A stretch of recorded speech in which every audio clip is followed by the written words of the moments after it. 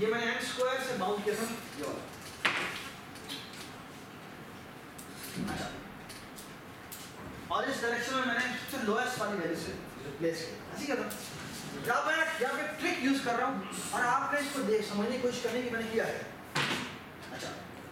ये बेटा अगर मैं इसको एक्सपैंड करके लिखूँ तो ये डॉट डॉट डॉट आएगा। प्लस यहाँ पर दरमियान में क्या वैल्यू आएगी? एन बाई टू आएगी। फिर क्या आएगी? क्या आएगी? N by two plus one आएगी फिर क्या आएगी N by two plus two आएगी फिर N by two plus three आएगी इस तरह चलते चलते जो आखिरी होगी वो क्या होगी वो होगी N by two plus N by two plus Usman? Yeah. All right. Everybody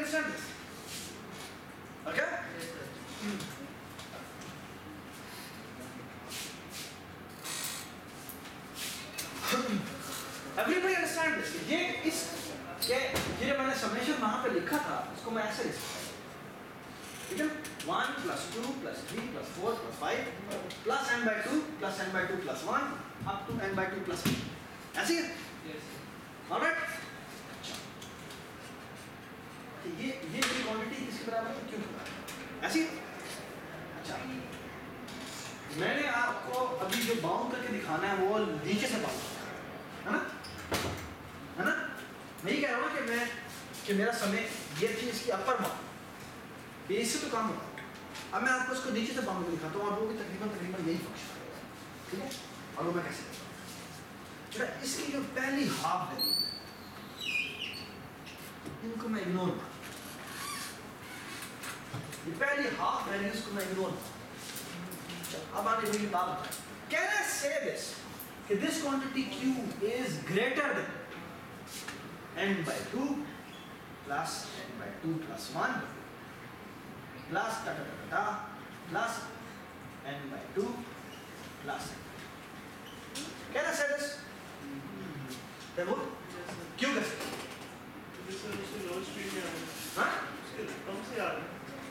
नहीं हमजा आएगा देखो तुम।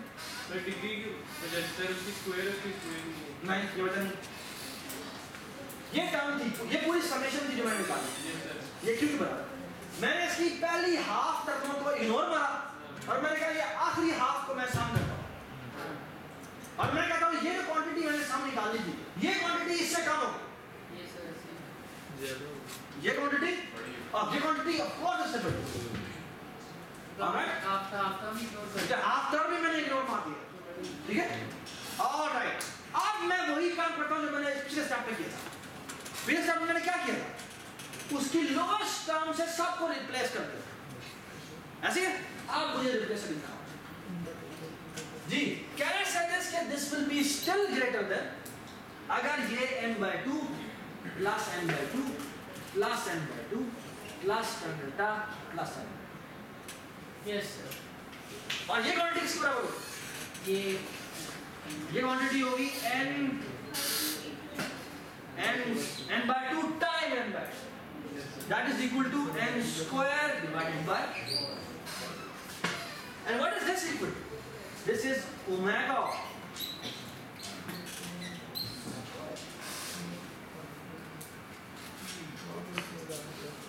हाँ? वहाँ पे समझ नहीं आ रही क्या समझ में तो वन एन स्केयर कैसे हो गया n square कैसे हो गया यार ये n by 2 है इनमें से हर टर्म हमें पता है एटलीस्ट n by 2 है मैंने उसका ये जो अगला वाला कॉन्सेप्ट था वो इग्नोर मार दोबारा इग्नोर मार मैं रफली कैलकुलेशन कर रहा हूँ। तो ये अगर तुम देखो ये क्वांटिटी ये क्वांटिटी किसके बराबर है? N by 2 plus n by 2 plus n by 2 plus n ये कितनी टर्म है? ये n by 2 टर्म है और हर टर्म एक्चुअली कितनी क्या है? N by 2 है। तो हमेशा किसके बराबर है? हाँ क्या मतलब यार? N स्क्वायर के बराबर होगा। वन बाई टू का स्क्वायर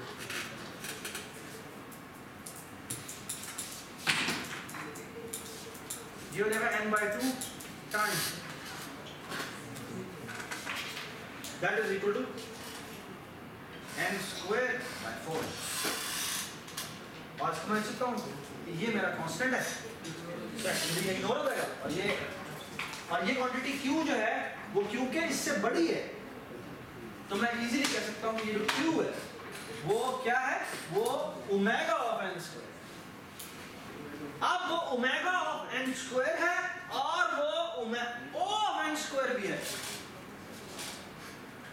इसका मतलब है कि मैंने दोनों क्वांटिटीज को को closely bound so this is actually अगर एक चीज़ ओ भी हो और ओमेगा भी हो तो इस चीज़ से इंप्लाई होता है कि theta of n square this is actually equal to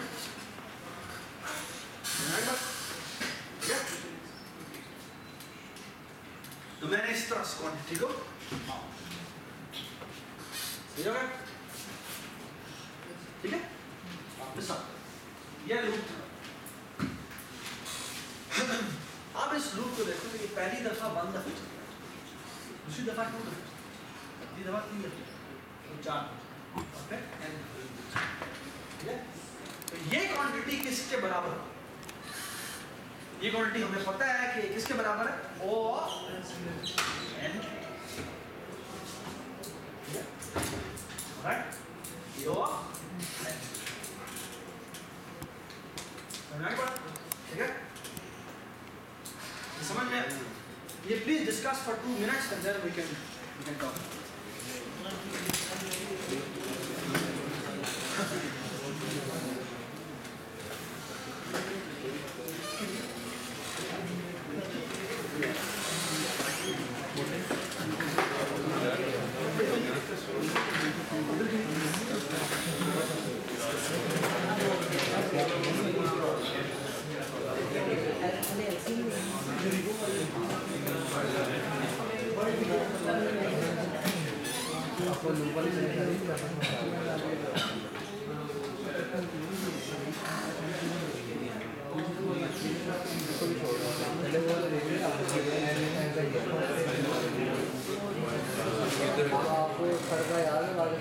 हम कॉन्स्टेंट सारे एन बाई टू से पहले मेरे सारे अब एन बाई टू एन हमारा एन बाई टू का अगला नंबर क्या होगा एन बाई टू ये हमारे नंबर बन गया एन हमारा एन बाई टू प्लस पहले सारे कॉन्स्टेंट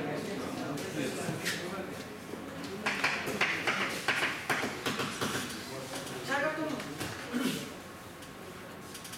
अगर तुम मॉड्स देखो तो मैंने इस अपर बाउंड करना बड़ा था मैंने हर वैल्यू को बड़ी वाली वैल्यू से रिप्लेस कर दिया जो लोअर बाउंड थी इस, इस, इसको ओ, ओ को ना अपर बाउंड है और इसको लोअर बाउंड अपर बाउंड निकालना बड़ा आसान था आपने बड़ी बड़ी क्वांटिटी सबको रिप्लेस कर दिया ये बड़ी नेचुरल बात होती है कि यार मैक्सिमम वैल्यू सबको रिप्लेस कर दिया इससे तो काम नहीं होगा जो लोअर बाउंड है लोअर बाउंड निकालना एक थोड़ा सा नॉन ट्रिवियल ठीक है अच्छा नॉन ट्रिवियल काम इस तरह से क्योंकि एक्चुअली हम उसको सबसे अपनी छोटी वाली वैल्यू से रिप्लेस नहीं कर सकते अगर सबसे छोटी वाली वैल्यू से रिप्लेस करें तो मसला क्या होगा मसला ये है कि वो बहुत ज़्यादा आपकी जो वैल्यू है वो छोटी है ठीक है?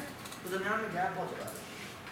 अच्छा उसमें एक्चुअली मैंने किया क्या मैंने किया ये है कि शुरू की कुछ वैल्यूज़ को यहाँ से रिमूव किया शुरू की छोटी सी कौन सी वैल्यूज़ को रिमूव किया है? जो कि तकरीबन तकरीबन कांस्टेंट थी। मैंने पहली वो वैल्यू लेके आया हूँ जो कि वेरिएबल पे डिपेंडेंट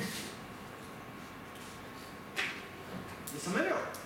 तो मैंने एक्चुअली कुछ फ्रैक्शन शुरू का जो कांस्टेंट था वो मैंने इग्नोर मारा। और फिर जब मेरी टर्म सारी की सारी एन की फॉर्म में आ गई तो फिर मैंने समझ और फिर मैंने उसमें सबसे लोएस्ट से भी रिप्लेस कर दूँगा तो हमारा काम ठीक है? मैं एक्चुअली अगर शुरू की एन बाय टेन भी छोड़ देता तो भी मेरा काम शुरू की अगर एन बाय टेन छोड़ देता और हर एक को एन बाय टेन से रिप्लेस कर देता। तो मेरी नाइन एन बाय टेन जो है वो टर्म जो रहती, और हर टर्म एन बाय टेन के बराबर होती। तो वो समेशन बीस के बराबर ये वो भी तकरीबन ओमेगा ऑफ़ एन स्क्वायर के बराबर ठीक है think about it can but everybody understand the idea कि हमने किस किया। अगर ये समझ में आ गया आपको तो अब आपको ये करना प्लीज डिस्कस करें कैसे प्लीज डिस्कस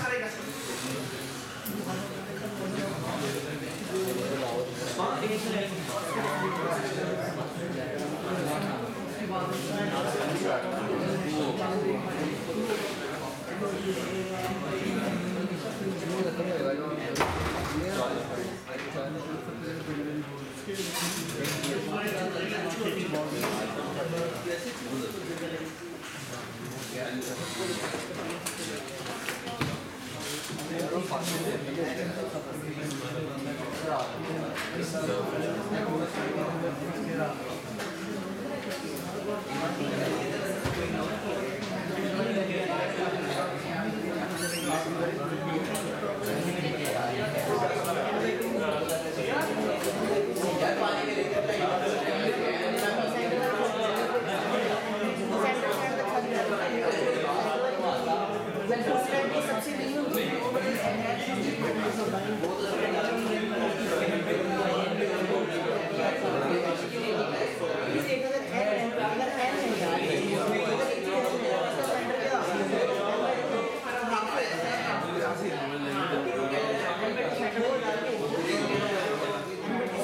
कैसे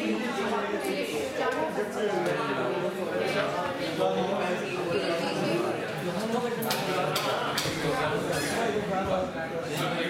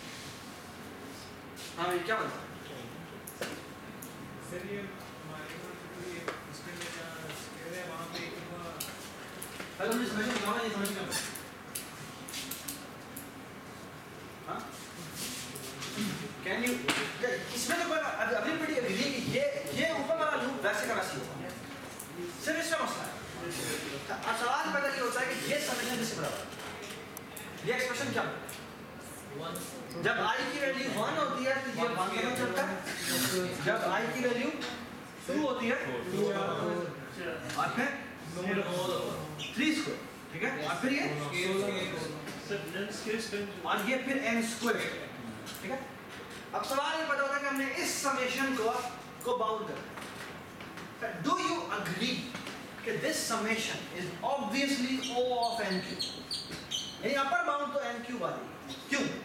ये बड़ा आसान है। सर एन स्क्वायर की तो क्या दोबारा बोलो?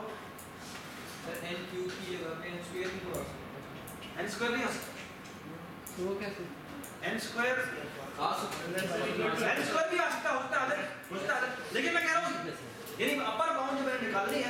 मुझे नहीं पता एन स्क्वायर कहाँ पर लेकिन मैं एक बार कंफर्म कर सकता हूँ, कि क्यूब से तो वो छोटी होगी। तुम कह रहे हो कि एन स्क्वायर आ सकता है, मुझे नहीं पता, आ सकता है लेकिन मैं ये लिख सकता हूँ कि एन क्यूब से छोटा क्यों होगा, इसमें सबसे लार्जेस्ट टर्म कौन सी है? क्लोजेस्ट बताना बस बताना मुझे नहीं पता क्लोजेस्ट एंड स्क्वायर नहीं नहीं एक मिनट मेरी बात सुनो यूज़ ऑफ़ n5 के लिए। एक मिनट एक मिनट एन इज़ बिल्कुल लेकिन मैं ये कह रहा हूँ कि एन क्यूब से तो ये कंफर्म था ठीक है? एन स्क्वायर यहाँ पर मैं अभी तक नहीं लिख सकता। उसकी वजह ये कि इनमें से एक टर्म ही एन स्क्वायर है। समझ में आई बात नहीं आई? इनमें से एक समेशन है एक एक एक वैल्यू एन स्क्वायर के बराबर है। तो तुम पूरी समेशन को कह रहे हो कि वो लेस देन एन स्क्वायर होगी ये कैसी बात है? वो का मतलब क्या? वो का मतलब है कि ये पूरी चीज़ इससे कम है। और उस पूरी की पूरी चीज़ में एक चीज़ ऐसी है जो कि खुद एन स्क्वायर है। तो how can this be less than less than और इक्वल टू एन स्क्वायर हो सकता है हो जाए। हो सकता है ये पूरी बकाया समेशन को हम सम करें तो वो कांस्टेंट आता है ठीक है? लेकिन डायरेक्टली नहीं कह सकते। डायरेक्टली नहीं कह सकते। अग्री यहाँ पर। अब अगर इसको हम गौर से देखें तो ये बात बड़ी ऑब्वियस है कि ये लेस देन और इक्वल टू एन क्यूब ज़रूर होगा। क्यों? n स्क्वायर में आ रही है हमारे पास। सारी की सारी वैल्यूज़ जो है वो एन स्क्वायर से छोटी है। और सिर्फ़ आखिरी वैल्यू ऐसी है जो कि एन स्क्वायर के बराबर है। यस सर राइट तो मैं इजीली कह सकता हूँ कि ये क्वांटिटी जो है ये क्वांटिटी लेस देन और इक्वल टू होगी n square plus n square plus n square plus okay Do you agree? Yes sir So I am 100% sure that this summation is less than or equal to n time n square. That is means O of n O of n हाँ जी लेकिन अभी तक हमने पूरा problem solve नहीं किया क्यों क्योंकि अभी तक हमने क्या चीज़ प्रूव करनी बाकी है लोअर बाउंड अगर हम लोअर भी इसी के क्लोज ले तो फिर हमने प्रॉब्लम तकरीबन तकरीबन सॉल्व एक्चुअली एग्जैक्टली सॉल्व तो अगर हम इसी तरह इस तरह से ये प्रूव भी करते कि ये omega of b n cube है तो फिर हम खामोश हो अग्री ऑलराइट अब सवाल ये पैदा होता है कि इसकी लोअर बाउंड ऑफ़ कैसे निकालें हिंट ये है कि बिल्कुल वैसे ही सोचें, जैसे यहाँ पर ये n स्क्वायर ओवर 10 से हाँ? n स्क्वायर ओवर 10 इसको और 10 से लेंगे।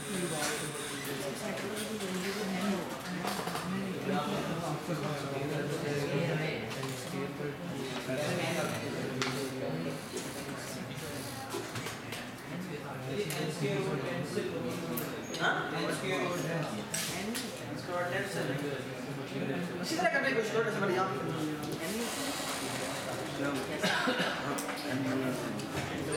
n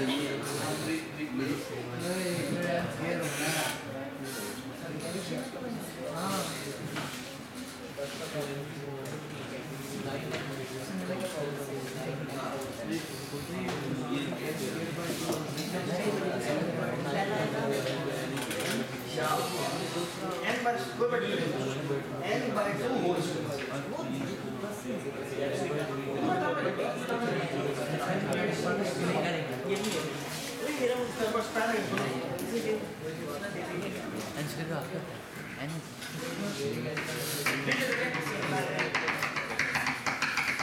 इसको मैं लिख सकता हूँ। One square plus two square plus three square plus four square plus dot dot dot plus n by two whole square plus n by two plus one whole square plus dot dot dot आखिरी जो होगी वो होगी n by two plus n by two whole square ठीक है और अब मैं बड़ा इजीली बाउंड कर सकता हूँ कैसे दीज आर हाउ मेनी पहली वाली सारी सारी टर्मों को मैं इग्नोर मारूँगा So this quantity is obviously greater than or equal to n by 2 whole square plus n by 2 plus 1 whole square ठीक है plus dot dot dot plus n by 2 plus n by 2 square. Okay? ठीक है? अब मैं क्या कर? सकता इसमें से हर क्वांटिटी किसके बराबर इसमें से हर क्वांटिटी एटलीस्ट किसके बराबर n by 2 whole square हाँ? इसमें से हर क्वांटिटी एटलीस्ट किसके बराबर n by 2 whole square n by 2 n by 2 n by 2 n square. Whole square ठीक है? लास्ट ये भी कितनी हो जाएगी? N by 2 square egg last dot dot dot plus n by 2 square. This quantity is obviously greater than 1 ठीक है? और ये क्वांटिटी इसकी तरफ़ कितनी टोटल टर्म कितनी है? कहाँ से है ना भाई ये n by 2 टर्म्स है और इसमें से हर क्वांटिटी किसके बराबर है? n by 2 whole square so that quantity is equal to n square by 4 multiplied by n by 2 and that is equal to n cube divided by 8 8 which is 1 over 8 which is omega of n why because ये जो q था वो इससे बड़ा ठीक है समझ में आई? तो इसका मतलब है कि अगर कोई लूप इतनी दफ़ा चल रहा है तो इसका मतलब है कि वो उसकी कम्प्लेक्सिटी क्या होगी? कम्प्लेक्सिटी एन क्यूब सही है? उसका उसका ये ऑफ़ एन क्यूब है और ओमेगा ऑफ़ एन क्यूब है तो मतलब है कि वो थीटा सही है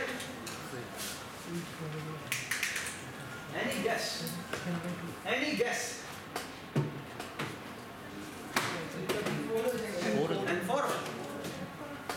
Any guess?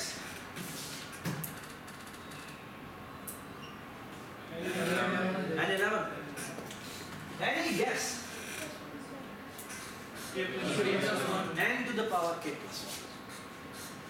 ये सुना है?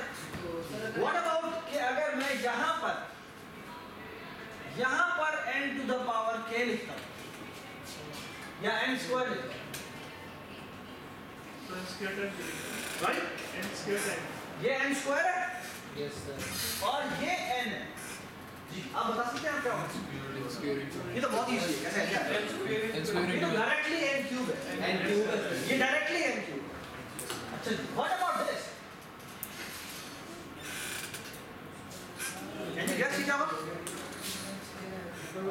n square plus ऊपर वाली n स्क्वायर है और नीचे वाली ने दोबारा से n स्क्वायर तक जाना है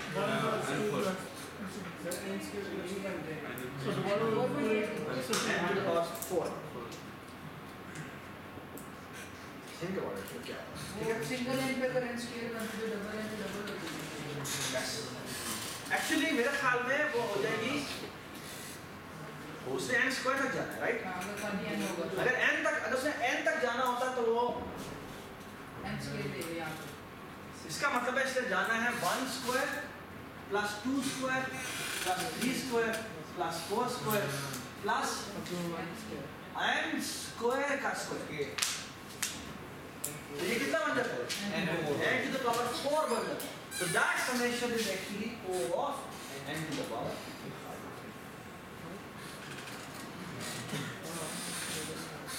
okay? That's very very easy to prove. कि ये आखिरी वैल्यू जो है अब मैंने जानबूझ के ये इसको ये ये वाला n दूसरा ठीक है ना? ये आखिरी टर्म ही n स्क्वायर तक जाना। तो उसके स्क्वायर तक से चलना ठीक है? हाँ सॉरी सॉरी सॉरी इसमें चलना है यहाँ तक ये वन दफ़ा होगा। हाँ n स्क्वायर ये किसके बराबर ये n cube n cube sir एक मिनट छोटा सा करेंगे ये n क्यूब एक मिनट ए ए ये ये देखो ना इधर वन तक जाना है फिर टू तक जाना है फिर थ्री जाना है। बचपन छोटा सा गया था जब हमारे पास सिंगल एन था हाँ। और नीचे आई था तो हमने इसका जो निकाला था क्या? एन स्क्वायर निकाला था। हाँ। ये वो एन स्क्वायर लेकिन ऐसे नहीं करना पहले मैं उसका पूरा एक्सप्रेशन निकालता हाँ और फिर बाउंड मैं एक्सप्रेशन से ही बात कर रहा हूँ कि आपने एक्सप्रेशन निकाला तो उसका एन स्क्वायर है। ठीक जो एन स्क्वायर वाली वो ऑल्ट्रेशन हो रही थी इसके अंदर। अब हमने उसको डबल कर दिया उसको। उसको डबल नहीं किया उसको स्क्वायर कर दिया। डबल स्क्वायर और डबल में फ़र्क होता है ज़मीन आसमान का स्क्वायर कर दिया। तो स्क्वायर कर मतलब है कि अब अंदर वाला लूप है इसने कितनी दफ़ा चला? पहले वन दफ़ा फिर टू दफ़ा फिर थ्री दफ़ा फिर फोर दफ़ा। आखिरी आई की वैल्यू कितनी होती एन स्क्वायर और एन स्क्वायर तो वो इसकी इस समीशन के बराबर। और ये समीशन किसके बराबर? है? ये होती है एमक्यू की और ये वाली ये वाला लूप कितना चलेगा? ये एन स्क्वायर तो टोटल एल्गोरिथमिक कैपेसिटी कितनी हो जाएगी? O of n square plus O of n cube that is O of n cube ठीक है ठीक है? ऑलराइट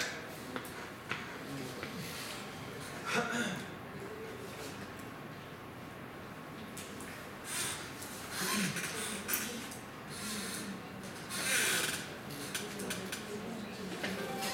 रेडी रहें क्योंकि ये जो आपका नेक्स्ट क्विज है?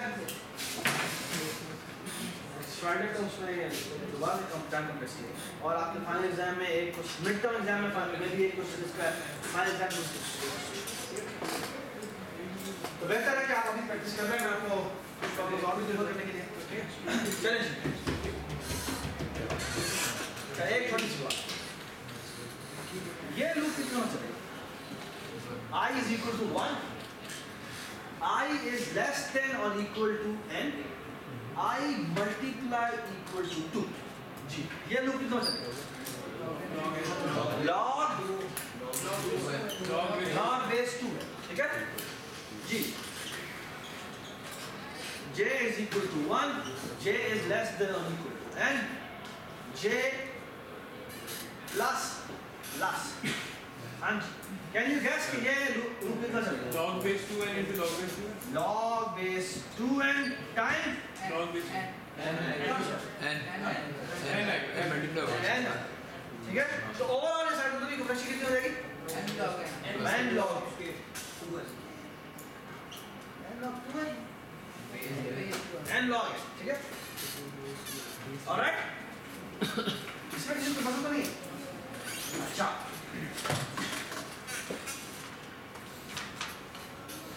What about now?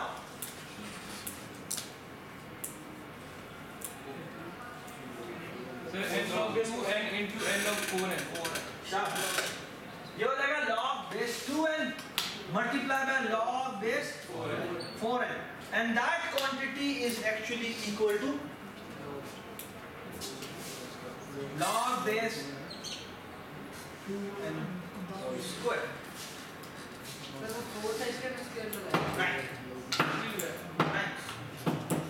अच्छा अब मैं तुम्हें एक बात बताता और ये बहुत ही इंपॉर्टेंट बात समझने वाली। कि log की कोई भी बेस हो log की कोई भी बेस हो, उसे फ़र्क नहीं पड़ता। वो सारे के सारे लॉ की सारी बेसिस यानी आप अपनी जो एल्गोरिथमिक कॉम्प्लेक्सिटी है, उसमें लॉ की कोई भी बेस ले लें फ़र्क नहीं इफ़ यू रिमेंबर जो हमने लॉ का चैप्टर पढ़ा था, अपने मैट्रिक में उसमें इस तरह की क्वांटिटी थी कि log log base c a divide by log base c b बराबर था लॉग बेस बी ए अगर ये दो क्वांटिटीज हैं, दोनों की लॉग की बेसिस सेम है, बराबर। लॉग की दोनों की दोनों की क्वांटिटी की बेसिस सेम है। और ये ए है, ये बी है। तो ये बराबर होता है लॉग बेस जो बीस जो डिनोमिनेटर में है, वो बीस बन जाएगा। और जो न्यूमिनेटर में है, वो ए यहाँ ठीक है? ऑलराइट अब मैं आपको ये बताता हूँ कि मैं कह रहा हूँ कि ये लॉग बेस फोर एन और टू एन में क्या फ़र्क है। कुछ भी फ़र्क क्यों? तो ये देखिए। मैंने कंपैरिजन करना है किसके दरमियान में? लॉग बेस टू एन में और लॉग बेस फोर एन ठीक है? इन दोनों के दरमियान कंपैरिजन करना है तो हम एक काम करते हैं। दोनों के दरमियान कंपैरिजन करने का मतलब क्या है? उन दोनों के दरमियान डिवीज़न की लिमिट लेनी पड़ेगी। तो log base 2n divided by log base 4n ये क्वांटिटी निकाली है ना. ये क्वांटिटी निकाली है। जी ये किसके बराबर है। ऊपर वाली क्वांटिटी किसके है? क्या मैं ऊपर वाली क्वांटिटी जो है नीचे वाली मैं एज इट इज़ लिख? Divide by log base 4n ठीक है? या फिर करता हूँ ऊपर वाली। मर्ज़ी चाहे चेंज करने फ़र्क नहीं नीचे वाली को मैं ऐसे लिख सकता log बेस 4 है ना क्या मैं इसको ऐसे लिख सकता log base 2n divided by log base 2 4 ये मैंने क्या किया? ये मैंने ये किया yes जो राइट साइड है, वो है log बेस बी ए जो कि यहाँ पर है log बेस 4 है उसको मैंने अगर सी सी लिया, वो दोनों के दोनों में टू टू कर तो वो हो जाएगा log base 2n divided by log base 2 समझ आएगा आप देखिए मुझे बताएँ। ये किसके बराबर ये काट दिया ऐसे किसके बराबर log बेस 2 4 कितना होता है? log बेस 2 4 कितना होता है? log बेस 2 4 कितना होता है टू टू हो जाएगा देखिए इसमें बना इज़ इक्वल ठीक है जब भी कोई दो क्वांटिटीज का आप वही लिमिट अप्रोचेस टू इंफिनिटी लेके रेशियो लेते हैं और वो कांस्टेंट के बराबर आ जाए इसका मतलब है कि वो दोनों क्वांटिटीज सेम एसिम्प्टोटिकली स्पीकिंग वो दोनों में दोनों सेम तो log बेस 5n करूँ और log बेस 2n करूँ और log बेस 10n करूँ या log बेस 20n करूँ। Doesn't matter they are all the same they are all the same okay in our asymptotic notation all the logarithmic are of same way ठीक है ये बात समझ इसका मतलब है कि मैंने ये जो लिखा ये क्वांटिटी को मैं सर ऐसे ये तो कोड भी लिखो तो मसला है बट तो मैं यूँ भी सकता हूँ एक्चुअली ओ की नोटेशन में ये लिखते ही यानी वो बाय डिफ़ॉल्ट टेन हो गया क्या? ठीक है? लोग लॉग भी लिखते हैं लोग एल जी भी लिखते एलजी लिखे सर नेचुरल ले लें हैं। एल जी का मतलब एल जी नेचुरल नहीं होता। नेचुरल होता है एल एल जो एल एल जी होता है वो लॉग बेस टू ठीक है? कोई ऐसी बड़ी बात ऑलराइट एवरीबॉडी अंडरस्टैंड दिस चलिए। लास्ट एग्जांपल और इस पूरे, इस एग्ज़ाम्पल तक आने के लिए मैंने सारी मेहनत की ये तो बी वेरी वेरी अटेंटिव ठीक है? आप एग्ज़ाम में एक या दो क्वेश्चन से clear please look at very very careful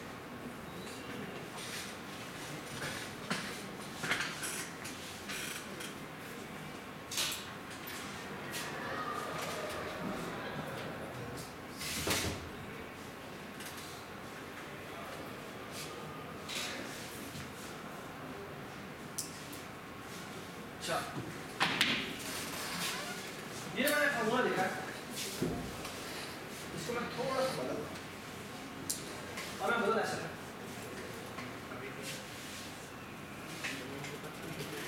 ये है मेरा जे प्लस प्लस जो अभी लोग कितना चलेगा एन और लॉग ठीक है तो एन लॉग एन ठीक है ऐसी है what about this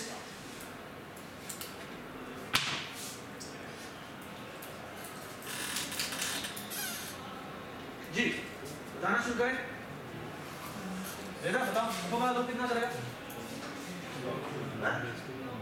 log of शाबाश लॉग ये लोग कितना तैमूर तो बताओ अब वो आईपी डिपेंडेंट जब आईपी डिपेंडेंट हो तो आपको मैथमेटिकल एक्सप्रेशन लिखना सीधी सी बात अब सवाल ये है कि वो एक्सप्रेशन क्या हो जी बताएँ पहली दफ़ा कितना चलेगा सर ये पहले तो वन टाइम एक दफ़ा दूसरी दफ़ा दो दफ़ा फिर चार फिर फिर शाबाश आठ फिर सोलह फिर और ये आखिरी आखिरी टर्म क्या होगी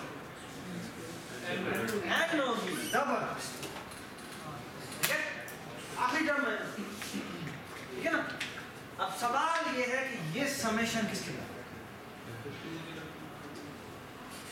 ज़रूरी आ जाएगा पहले एक्सप्लेन फेस करने के उसके लास्ट में कर देंगे वेरी अच्छा इसको अगर आप वैसे ही सॉल्व करने लगेंगे ना तो आप बड़ी गलती करेंगे क्यों? क्योंकि इसमें टर्म कितनी बार मुझे बताओ? टर्म कितनी लॉग एन टर्म है ना? और हर टर्म जो है, अगर मैं n से रिप्लेस करूँ तो ये n log n हो। ना? ये o of n log n तो आ जाएगा। लेकिन लेफ़्ट टर्म को तुम ऐसा नहीं कर सकते। क्योंकि log n तो सिस्टम में रह जाएगी। टोटल और फिर मसला अच्छा वाला मसला अच्छा अब मैं तुम्हें एक बात। ये चीज़ ज्योमेट्रिक सीरीज़ कहलाती है। ये चीज़ ज्योमेट्रिक सीरीज़ कहलाती है। एक geometric series with a common ratio of two जहाँ पर टू के फैक्टर से कोई चीज़ इंक्रीज होती जाए जहाँ बहुत इंपॉर्टेंट बात मैं बता ये जो समेशन होता है, ये समेशन हमेशा, ये समेशन हमेशा less than to another. हमेशा लेस देन और उसका एक लाइन तो प्रूफ है ज्योमेट्री ये देखिए जी, ये अगर मैं कहूँ कि ये मेरी एक, ये मेरे दो डब्बे हैं तो ये पेन ये वाली, सबसे बड़ी वाली क्वांटिटी है वो एन है. तो बेटा इससे पिछली वाली टर्म क्या होगी? क्या? क्योंकि टू के फैक्टर से इंक्रीज हो गया तो एन बाई टू होगी उससे पिछली क्या होगी फिर क्या होगी जी एन बाय ये एन को हमने खत्म कर दिया। पिछली टर्म क्या एन बाय टू है। एन बाय टू से ये कितना वाला फिल होगा? कितना फिल होगा? इसका हाफ़ इससे पिछले ये भी गया ये भी गया ये टर्म इसके बराबर ये इसका हाफ़ गया उसके बाद क्या होगा? इसका हाफ़ उसके बाद क्या होगा? उसका हाथ उसके बाद क्या होगा? उसका हाथ ये कभी भी खत्म नहीं so, ये क्वांटिटी क्या थी? एन ये क्वांटिटी क्या है एन अगेन तो हमेशा इससे टू से ये क्वांटिटी कम रहती है। तो इसका मतलब ये लेस देन टू एन है। इसका मतलब ये ओ टू एन है। टू हमारा मैटर नहीं करता। ये ओ है? इसका मतलब है कोई क्वांटिटी अगर कोई क्वांटिटी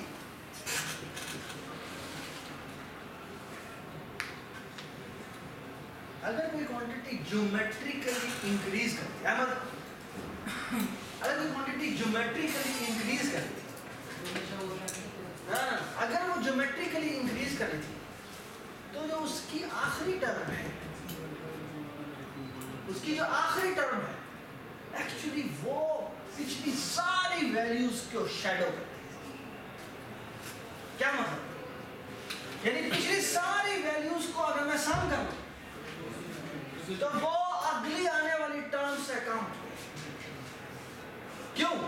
ये देखें, ये पूरा समेशन जो है, वो बताएँ अगर ये टर्म आखिरी जो थी, वो एन थी उससे अगली वाली टर्म मिला क्या थी? टू का फैक्टर से होती जा रही ना? तो अगली टर्म एक्चुअली क्या है? तो ये सारा समेशन अगली आने वाली टर्म से छोटा है। ये बात समझ? इसका मतलब पता क्या इसका मतलब है अगर आप कोई भी चीज़ देखें कायनात और अगर आप देखें कि वो ज्योमेट्रिकली इंक्रीज कर मैं इसकी आपको example there are few few examples are fascinating and few examples are horrible अगर आपको मैं कह रहा हूँ कि फॉर एग्जांपल नेक्स्ट कि आपकी पॉपुलेशन आपके किसी रीजन की पॉपुलेशन जो है वो हर पाँच साल बाद डबल हो। हर पाँच साल बाद डबल हो। इसका मतलब पता क्या इसका मतलब मैं कहने का ये चाह रहा हूँ कि ट्राई टू अंडरस्टैंड दिस मैं कह रहा हूँ कि हमारी फॉर एग्जांपल ये बड़ा छोटा सा है, क्या हमारी पॉपुलेशन हर पाँच साल बाद डबल हो जाती है? कोई भी बात नहीं है। तो इसका मतलब पता क्या इसका मतलब है फॉर एग्जांपल इस रीजन में हम बैठे ये पाकिस्तान वाला पूरा रीजन इसका मतलब यह है कि इस पूरे रीजन इस पूरे रीजन जब से पाकिस्तान बना है तब से इस सत्तर साल के ड्यूरेशन में जितने भी लोग आए, और जितने भी लोग चले गए उन सब का समेशन उनकी सबकी पॉपुलेशन का सम वो सम आने वाली जो न्यू जनरेशन का सम है, वो जो पाँच साल, उससे कम and try to understand the other way around अगर हम कहें कि अगर हमारी बिजली की रिक्वायरमेंट लेट से डबल होती जा रही है मतलब पता क्या इसका मतलब है पूरे पाकिस्तान की सत्तर साल की कंजम्पशन जितनी थी, अगले पाँच साल में वो पूरे उस सेवेंटी ईयर से ज़्यादा होगा this is what geometric series mean इसी तरह अगर मैं आपको कहूँ कि कोई रिसोर्स है, और वो रिसोर्स हाफ़ होता जा रहा है। इसका मतलब पता क्या है? इसका मतलब ये है कि आप आई मीन क्वांटिटी हाफ़ अभी अगर कोई चीज़ हाफ़ होती जा रही है तो इसका मतलब है कि अगर उसके ऊपर डिपेंडेंसी क्रिएट होती जाए जो है, जो जो चीज़ उसके ऊपर डिपेंडेंट है, वो वो जो इतनी एकदम शॉर्टेज है तो वो कंट्रोल नहीं हो सकेगी बाउंड टू फॉल तो इसीलिए नहीं कहते कि ये जो थर्ड वर्ल्ड कंट्रीज़ सब कॉन्टिनेंट में जो बहुत बड़ा प्रॉब्लम अभी आने वाला है। ये वो कहते हैं वाटर शॉर्टेज है। हम कहते हैं जी ग्लेशियर पिघलते जा रहे हैं और वो हर पाँच साल बाद हाफ़ होते जा रहे हैं। अभी तो हमें फील नहीं हो रहा। जब डिजास्टर आना है तो एकदम आना हमें पता भी नहीं लगता क्या। इसी तरह फॉर एग्जांपल कहते हैं कि हमारा जो टेम्परेचर है वो ज्योमेट्रिकली इतना इंक्रीज हुआ है। इसका मतलब बहुत हॉरिफाइंग है। ये पॉलिटिशियंस हमें बताते नहीं ये ये समझ भी नहीं आता शायद तो समझना भी मुश्किल है। लेकिन ये आप लोगों को ये समझना बड़ा ज़रूरी है कि अगर कोई चीज़ ज्योमेट्रिकली इंक्रीज कर है तो उसका मतलब बहुत हॉरिफाइंग है। क्यों? क्योंकि अगली आने वाली वैल्यू अपनी पिछली तमाम वैल्यू के सम से ज़्यादा होती है। Okay? And that is really strange. Okay? Algorithm की जबान। अगर मैं आपको कहूँ कि आप try to understand this is such a beautiful अगर मैं एक प्रॉब्लम है, इतना बड़ा प्रॉब्लम जिसको मैंने सॉल्व कर ठीक है? अगर मैं उसके ऊपर कोई प्रोसेसिंग करता ठीक है? For example n square time लगाता हूँ।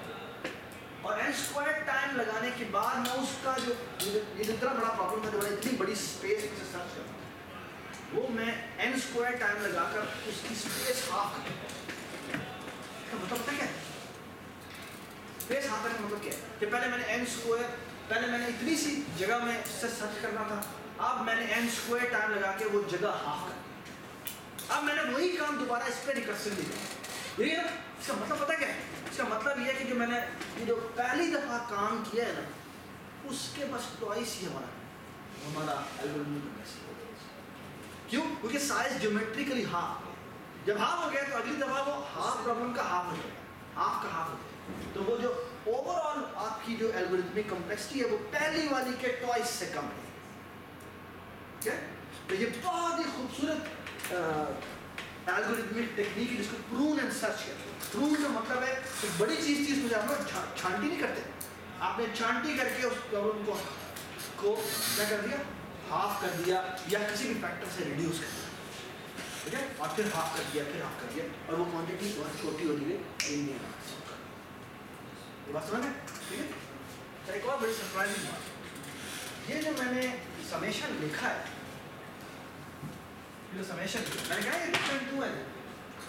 बाय द वे अगर कोई क्वांटिटी यहाँ पर वन थी, फिर वो थ्री से मल्टीप्लाई हो फिर वो थ्री स्क्वायर हो गई। फिर वो थ्री क्यूब हो फिर वो three to the power four हो इन दी एंड क्या हो इन दी एंड में एन एन आना है। इसमें क्या आना है? एन बाय थ्री आना है। फिर क्या आना है? N by three square n by nine आना है। ना? एनी गेस ये समझ किसके बारे में रियल ये भी लेस देन टू है। वजह कैस उल्टा सम करते हैं दोबारा जी, ये क्या है? ये हो गया ये क्या है? पहले हमने एन बाय टू फिल किया था। अब actually n by three fill हो तो ज़्यादा स्पेस बच गई है। और अगली दफ़ा कितनी रिमूव होनी है? एन बाय नाइन पहले हमने एन बाय फोर रिमूव किया था एन बाय नाइन है। तो वो एक्चुअली और भी ज़्यादा स्पेस है। तो एक्चुअली वो उससे भी कम जगह तो that summation is also less than इस तरह का मैं आपको एक 1 plus 4 plus 4 square plus 4 cube plus plus n. ये समेशन भी किसके साथ बाउंड है? ठीक है? If this common ratio is greater than 2 तो हमें कंफर्म पता है कि ये जो समेशन है ये लेस देन 2 बात समझ always remember this quantity is worth to be क्या? ये रियल बात हो है अगर कोई यदि कॉमन रेशियो का मतलब है जो मल्टीप्लिकेशन फैक्टर सीधा को इंक्रीज हो अगर वो ग्रेटर देन टू है तो ये जो पूरा समेशन है ये लेस देन टू एन ही है यानी ओ ऑफ़ एन ही है गुड ऑलराइट ठीक है तो बी रेडी हमारा जो नेक्स्ट क्विज है वो पूरा इसके ऊपर और मैं आपको जो कुछ कम सारे बीस पच्चीस तरीके से सारे प्रैक्टिस प्रॉब्लम दूँगा जो कि क्विज रिलेटेड है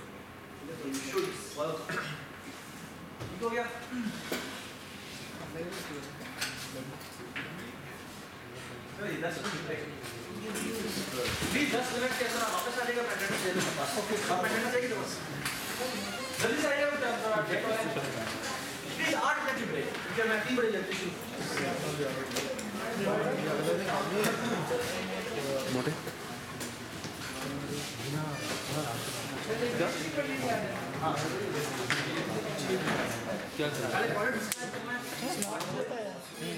ठीक है मैं मैं पैसे पैसे दे